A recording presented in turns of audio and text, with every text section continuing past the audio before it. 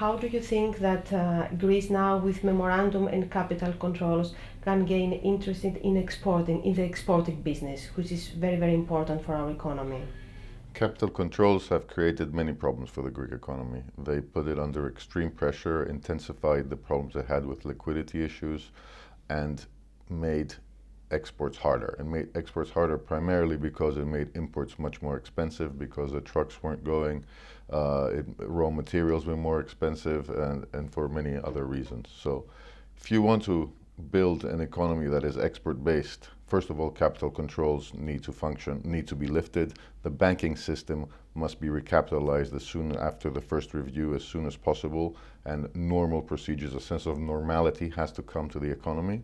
But we also need a significant change in the productive, in the productive paradigm we have in Greece. Uh, we need businesses to become more involved in the policy making. We need the business environment to become much more uh, much more simple and much easier to perform in. And we need a, a, strategy for more tradables and more high technology products which can be exported. The high taxes that uh, now Greece has and it's going to get higher with the third memorandum is going to help or not? Taxes on their own cannot really solve the problem. Uh, they are, the more horizontal the measures are, the less effective they can be.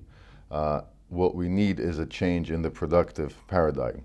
Uh, taxes on their own cannot bring any kind of permanent change. They can perhaps mask some of the problems for a short period of time, but they are bound to reappear. Are they going to hurt the business, do you believe?